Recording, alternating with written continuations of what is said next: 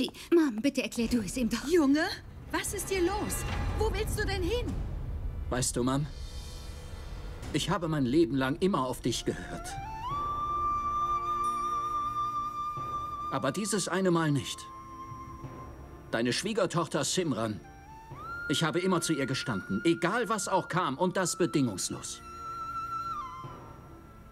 Und was war der Dank dafür?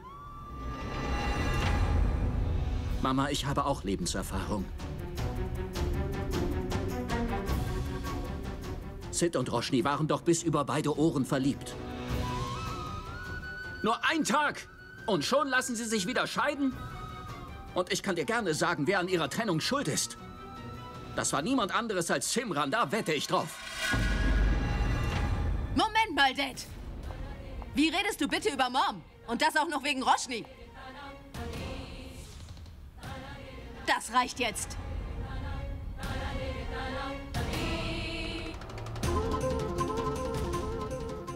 Sid, ihn solltest du fragen. Hat dich jemand zu der Scheidung gezwungen? Los, spuck's aus.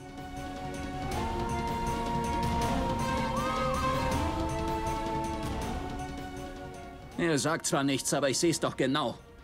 Simran hat ihn unter Druck Mom gesetzt. hat mich wirklich nicht unter Druck gesetzt, Dad. Es war meine eigene Entscheidung. Sie hatte nichts damit zu tun, also lass Mom bitte jetzt in Ruhe. Wirklich? Ja. Also fängst du jetzt auch an zu lügen? Nicht zu fassen. Du wagst es! Raj, bitte! Bitte, Raj, hör auf, ich flehe dich an. Bitte, bitte lass Sid in Ruhe. Nein!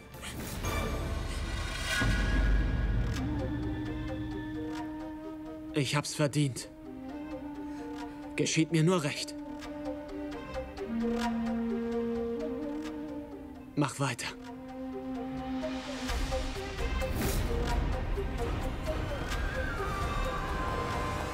Bleib hier!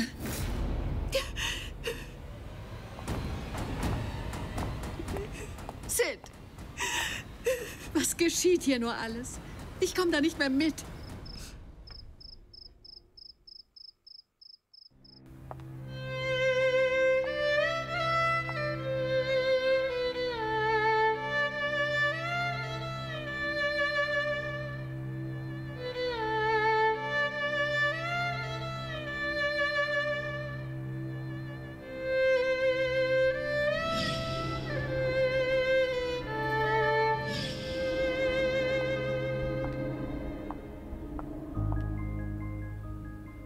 Roshni, isst doch etwas. Hast du keinen Hunger? Nein, kein bisschen. Na gut. Aber wenn du nichts isst, werden wir anderen auch nichts essen. Ich liebe dich, Roshni.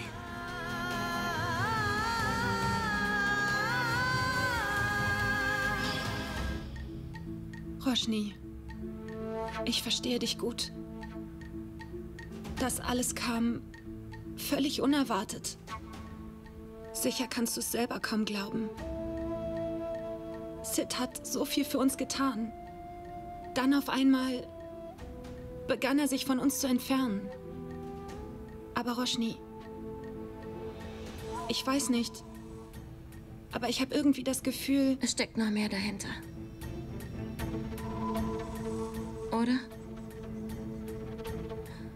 Das Gefühl habe ich auch.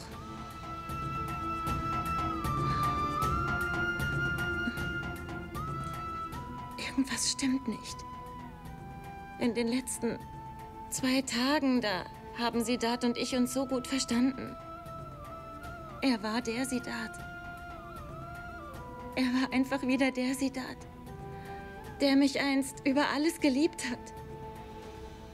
Aber dieser Mann beim Scheidungsrichter, das. Das war gar nicht wirklich er. Er war wie ein Fremder. Er war wie ausgewechselt. Wie kann denn sowas. Nein. Irgendwas ist passiert. Ich versuche ständig, ihn zu erreichen, aber Er geht einfach nicht dran. Jetzt hat er sein Handy ausgeschaltet. Ich will ihn wenigstens noch einmal treffen.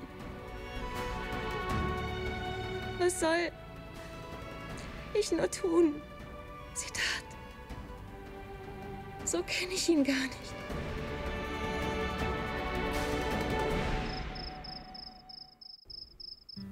Was tun wir nur? Wir wissen ja nicht mal, wo Siddharth hingegangen ist. Es ist schon Mitternacht. Gott weiß, wo er sein könnte. Und sein Handy ist auch ausgeschaltet. Jambu? Machen Sie mir das Gästebett fertig und stellen Sie eine Flasche Wasser bereit. Rachi. Ah, ah, warum willst du im Gästebett schlafen? Simran, wenn wir uns nicht verstehen, welchen Sinn macht's dann, zusammenzuleben?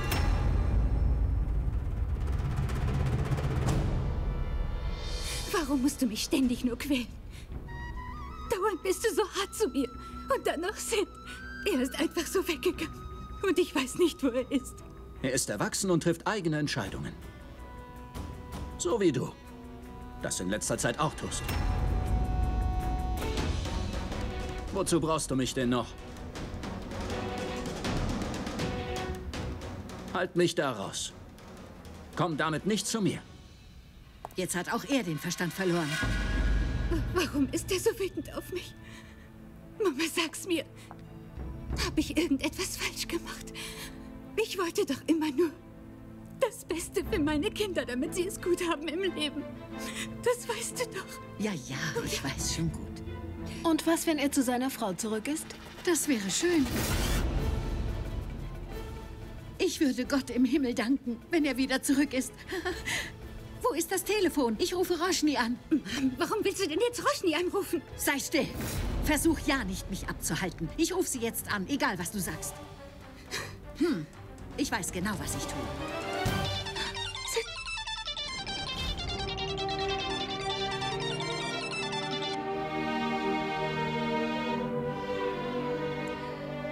Guten Abend, Oma. Ähm, Gott segne dich, meine Kleine. Sag mal, ist sie da bei dir gewesen? Sein Telefon ist ausgeschaltet und ich weiß nicht, wo er ist. Oma, Siddharth ist. Das kann nur Sid sein. Mach schon auf, ich komme. Sid? Hallo? Inspektor, aber was? Mama? Inspektor, was führt Sie her? Meine Güte, was will die Polizei jetzt hier? MH 01 2389. Ist das Ihr Kennzeichen? Ja, das von dem Wagen meines Sohnes. Der Wagen hatte auf einer Schnellstraße einen Unfall. Was?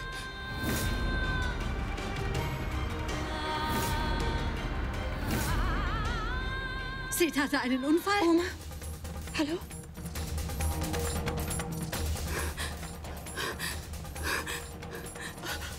Oh mein Gott. Horachi, sprich du mit ihm. Er sagt, Sid wurde in einen Unfall verwickelt. Inspektor, sind Sie sicher? Ganz sicher. Nein, oh mein Gott. Was ist nur passiert? Siddharth? Siddharth? Siddharth? Bitte beschütz meinen Enkel. Bitte mach, dass ihm nichts passiert ist. Ja, Mr. Mita, bitte holen Sie Erkundungen ein. Und rufen Sie mich an. Ratschus, hat er gesagt. Unternimm doch etwas. Gott weiß, was dem Jungen passiert sein kann. Mom, Mom, bitte. Du musst jetzt stark sein. Versuch positiv zu denken. Ich versuche sie auch. Sid, Mom, Siddharth? Sid? was willst du hier? Warum kommst du hierher? Du hast das Leben meines Sohnes ruiniert. Was willst du denn jetzt noch, Roshi? Schluss, Simi, es reicht. Du musst jetzt erstmal an Sid denken, statt sie zurechtzuweisen. Papa, was ist Siddharth denn passiert? Geht's ihm gut? Sag's mir. Inspektor, wissen Sie jetzt genaues? Ersten Berichten zufolge hat niemand den Unfall überlebt.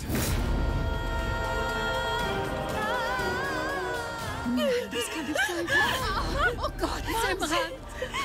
Inspektor, ich muss die Unfallstelle sehen. Fahren wir hin.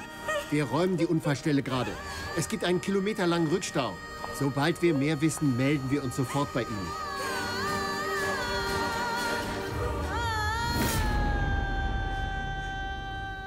Bitte, lieber Gott, gib, dass ihm nichts Schlimmes passiert ist.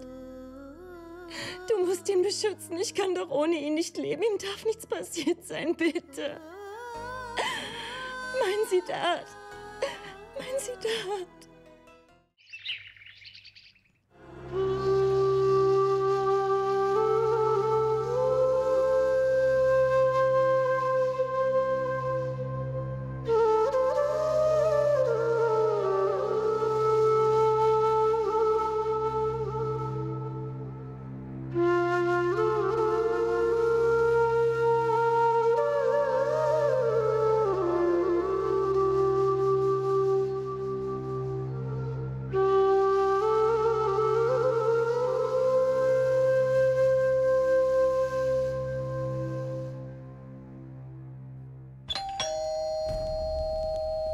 gehe schon.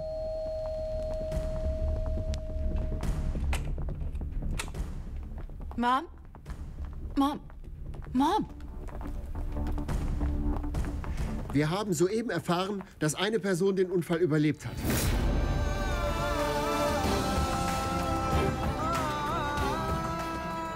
Ein junger Mann, aber sein Zustand ist sehr kritisch.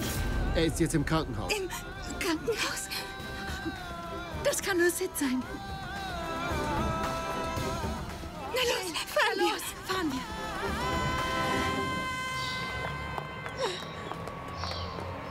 Sid, Verschwinde jetzt, sonst kriegen wir Ärger. Schnell jetzt, fahr schon, na los, mach schon.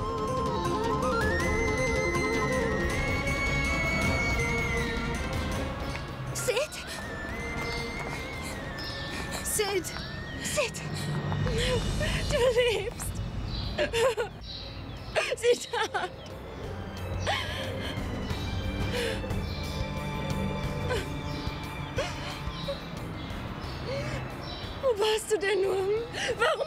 Angerufen? Warum hast du nicht Bescheid gesagt? Nicht mal angerufen. Warum hast du nicht Bescheid gesagt? Wir haben...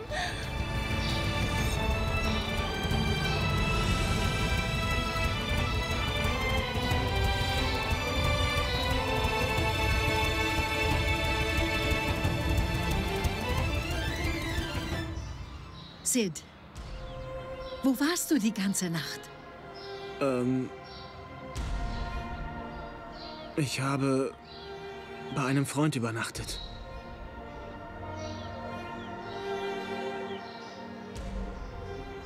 Ähm, Sid? Wer war das gerade in der Autorikscha? Ähm. Ähm. Das war mein Freund. Er hat mich hierher gebracht. Er musste weg. Was war das denn für ein Unfall, Siddharth?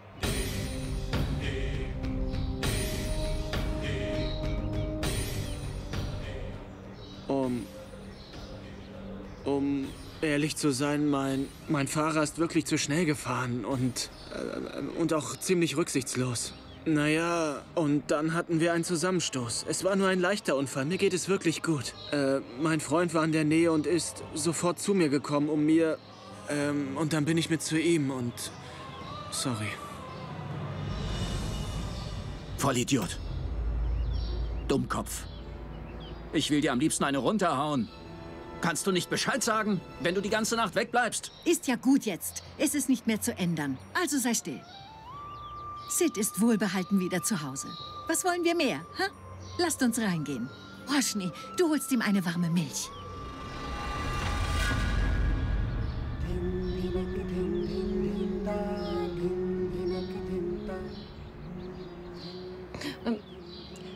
Ich gehe jetzt wieder.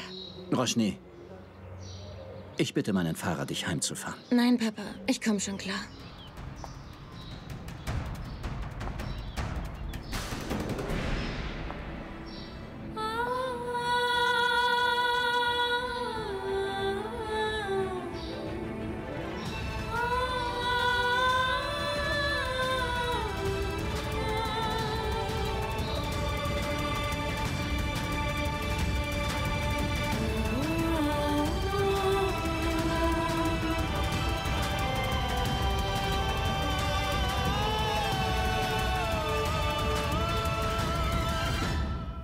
Wo ist Roshni nur ohne ein Wort hingegangen? Ich mache mir wirklich furchtbare Sorgen um Simona. Und dieser Siddharth. Er hat so vielen Menschen wehgetan. Er verdient ihre Liebe überhaupt nicht. Sag das nicht, Mom. Ich weiß, dass du böse auf Siddharth bist, aber verurteile ihn nicht. Er hat dich furchtbar hintergangen, Kind. Warum stehst du trotzdem zu ihm? Wir haben uns scheiden lassen, Mom. Aber wahre Liebe kann nicht sterben.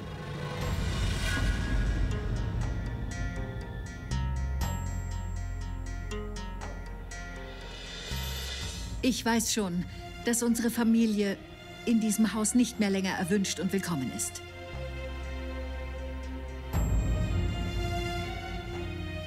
Aber vielleicht darf eine alte Frau einen Moment hereinkommen. Ich möchte gerne mit Roshni sprechen. Ich bitte von ganzem Herzen darum. Aber Suki, bitte reden Sie doch nicht so. Ähm, Sie können Roshni natürlich besuchen, wann immer Sie wollen. Ja, Oma. Du kannst jederzeit mit mir reden. Liebes, du hast so ein gutes Herz. Ich bin hier, weil ich dir sagen wollte, dass auch wenn du und Sedat geschieden seid, du doch für immer meine Enkelin und meine kleine Roshni bleibst. Liebes, dein Schweigen sagt doch, dass du nichts dagegen hast, oder? Oder? Komm mal mit mir.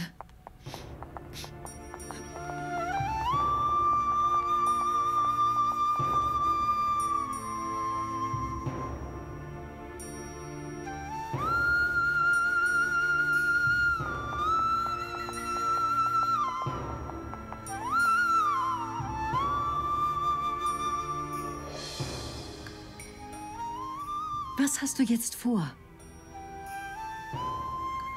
Du wirst doch nicht dein Leben lang nur Sid nachtrauern, oder? Na gut. Wirklich gut. Es ist gut zu wissen, weil Sid sich ohne dich einsam fühlt. Und du? Dir fehlt er doch genauso, mir machst du nichts vor. Warum? Was ist da ständig nur los mit euch beiden? Was soll das alles?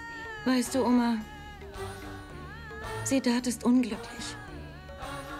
Und er hat seine Entscheidung getroffen. Ich habe so oft versucht, mit ihm zu reden, aber... Aber ich kam einfach nicht mehr an ihn ran. Er ist so anders. Hast du heute bemerkt, dass er kein Wort mit mir gesprochen hat? Und ich habe ihn nur angeschrien. Vielleicht. Vielleicht. Vielleicht empfindet er ja wirklich nichts mehr für mich.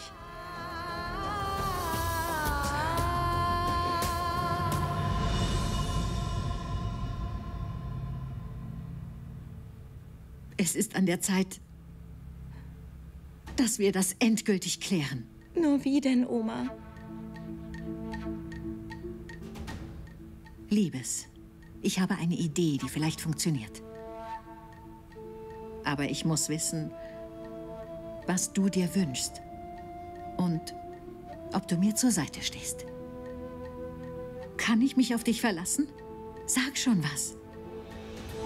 Nun, wirst du mir helfen?